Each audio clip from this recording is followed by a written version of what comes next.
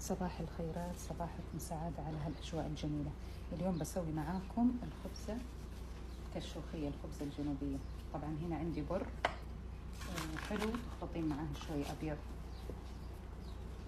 يطلع أفضل.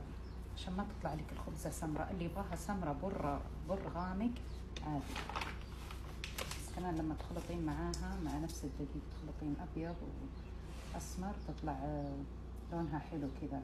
مو غامق ولا فاتح تمام؟ طبعا تنخلينه مقاديرها إيش؟ طبعا دقيق. الخبزة العادية دقيق ملح موية خميرة. بس هذا المقادير الأساسية. بما أن خبزتنا اليوم كالشوخية راح أضيف لها بس حليب وسكر بس على المقادير العادية. فطبعا المقادير على حسب أنتم ما أنتم حابين تبغين خبزة صغيرة تبغين خبزة كبيرة على كيفك. تمام؟ هنا راح أحط عندي أربع أكواب. هنا طبعا عندنا السكر شوي سكر. السكر طبعا سبحان الله يعطي طعم للخبز. اللي عندهم طبعا سكر لا يحطوه. تصلحينها كبار السن عندي كبار السن لا تحطي لهم سكر. طبعا بالعادة الدقيق لما تطحنينه تحطين عليه ملح. تمام؟ حطينا الخميرة ملعقة خميرة. وهنا كمان بنحط ملعقة حليب بودر. بس. نخلط هالمقادير كلها مع بعض. والموية نحطها طبعا بالتدريج. هنا نبدأ نعجن. نحط الموية على دفعات بسم الله. طبعا زي ما قلت لكم تقدرين تخلينها عجينة إيش؟ موية دافية طبعا. تقدرين تخلينها عجينة كلها بر وممكن تسوي mix زي ما أنا سويت حالاتها كذا تصير على شايفين حتى اللون يصير أفتح شوي لما تكون كلها بر. هذه طريقتي أنا طبعا. في ناس أنا بعض الأوقات لما يصير أمي اصلح لها مثلا يعني عندي أحد كبير في السن لا أصلحها كلها بر يفضلونها سبحان الله. مستمرين في العجن هي لازم تكون إيش؟ أكثر من عجينه الفطاير. الخبزه لا تكون أكثر من عجينه الفطاير. المويه تحطينها بالتدريج طبعا. ما تقدرين تلتزمين كمية معينة للموية. على حسب الدقيق. في بعض الأنواع الدقيق تشرب موية ترى. نكمل عجن في ناس يضيفون معها إضافات اللي هو حب الرشاد في ناس يضيفون معها ينسون في ناس ينكهونها يعني بمعنى أصح.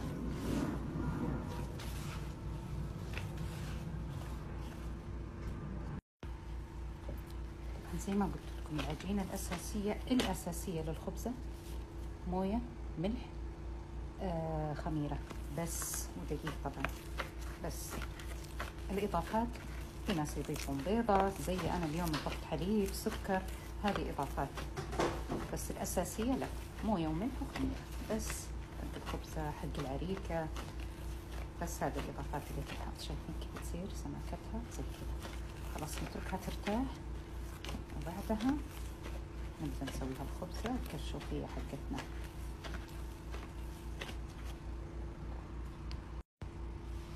الآن بنتركها من نص ساعة إلى ساعة. على حسب الجو الجو الآن بارد بس مو ذاك البرودة. ممكن تأخذ لها نص ساعة إلى ساعة إلا ربع كذا وتخمر. وبعدها نوريكم الطريقة الثانية إن شاء الله.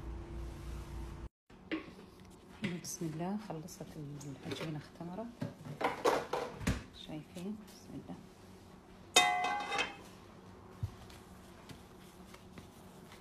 أخذت لها نصف ساعة. بما أن الجو عندي دافي في المطبخ. نفس طريقة المعجنة طلعي الهواء منها. طبعا بصلح ما راح أصلحها كلها خبزة راح اصلح شكلين اثنين بسم الله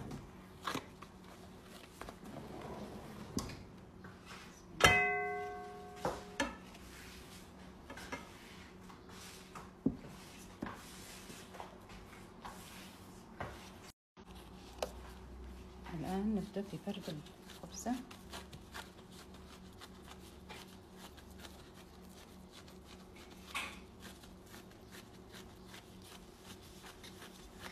طبعا أكيد قاعدين تقولون هذا إيش؟ لا تستعجلون على رزقكم.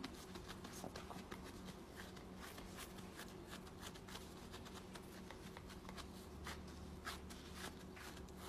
خلاص وزعناها. نبدأ إيش؟ بالسكين كمان نقطعها.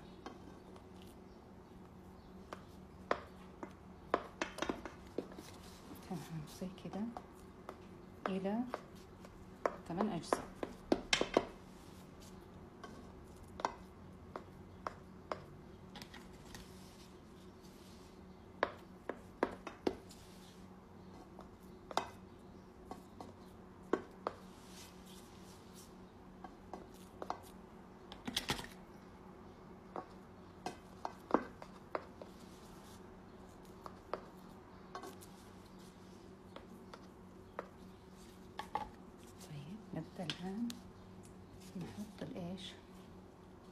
حليب على الوجه.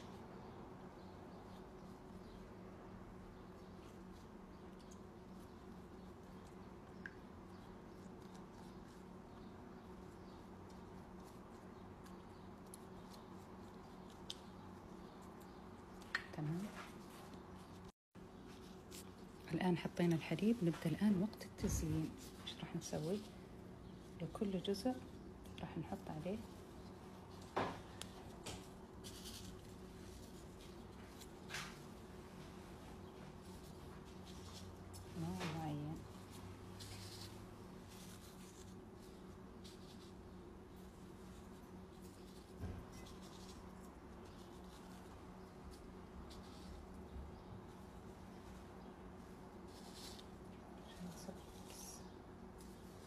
تمام؟ وخلاص كده على الفرن. تغطينها بقصدير أو تحطين عليها صاجة أكبر من الصاجة هذه ودخليها الفرن. تأخذ نص ساعة تأخذ نص ساعة إلى ساعة إلا ربع على حسب حجم العجينة. تمام؟ طبعا هنا خلاص خلصنا خبزتنا. شايفين؟ إيش راح نحط عليها الآن؟ طبعا في ناس يصبون عليها السمن صب أنا ما أحب صراحة. اولا الجو بارد. ولو ما اتاكلت تصير دسمة وتحملينها وتحطين في أشياء آه، كثيرة لها داعي تمام؟ هذه طبعا خبزاتنا الصغيرة شايفين؟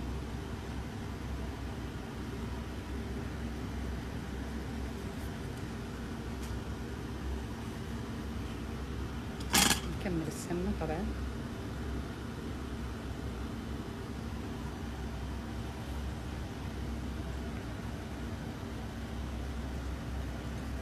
هنحط سمنة وعسل طبعا مع بعض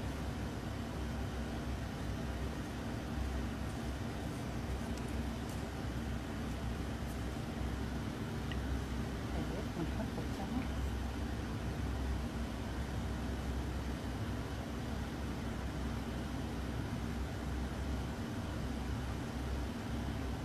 بس طبعا بحط التمر والسمن والعسل كله مع بعض بس أنا لا بحب اخليها كده بحالها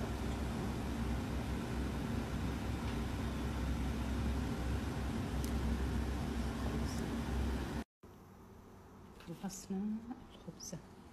شايفين؟ هذه خبزتنا.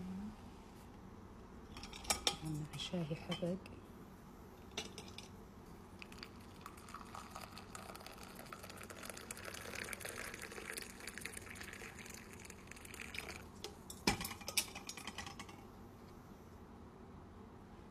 خلنا نجرب معاكم واحدة. مم. شايفين من داخل كيف؟ لذاذة